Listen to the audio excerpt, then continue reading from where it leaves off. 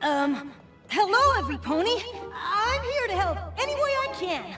So if there's anything I can do for any of you... We love you, Princess Twilight! We love all the princesses! I guess every pony loves a princess. Hmm.